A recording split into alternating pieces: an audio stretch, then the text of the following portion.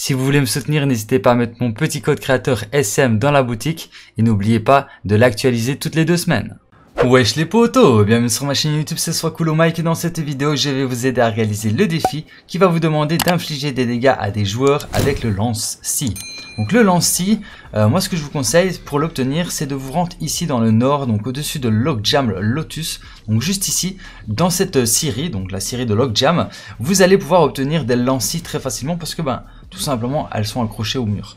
Donc regardez, je vais vous montrer ça. Hop, vous venez ici, à l'intérieur, et regardez, il y a déjà deux scies qui sont euh, accrochés au mur, juste ici.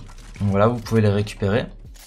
Ensuite, il y en a même une qui est posée sur le meuble. Il y en a même quatre qui sont derrière ici sur les murs. Vous pouvez toutes les récupérer.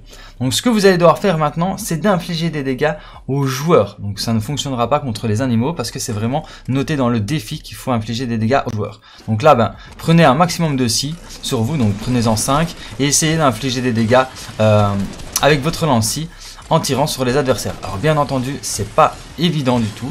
Parce que même contre un bot, ben, vous voyez bien que je galère. Mais euh, ben voilà, si vous avez... Regardez, là j'ai réussi à le toucher, parfait.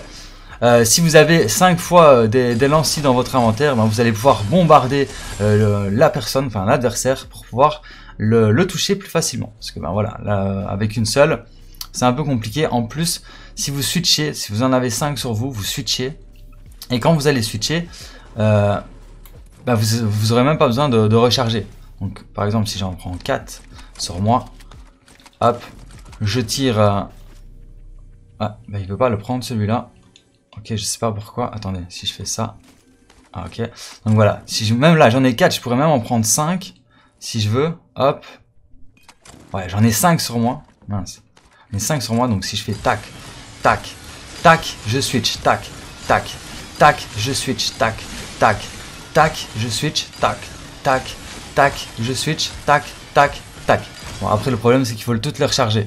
Mais, mais voilà, vous avez pu tirer 3 x 5, ça fait 15 si en même pas 5 secondes. Donc, 5-10 euh, secondes, vous avez envoyé 15 si. Donc, franchement, c'est une bonne, une bonne astuce. Si vous venez ici, vous allez être full lancy et vous allez pouvoir réussir le défi plus facilement.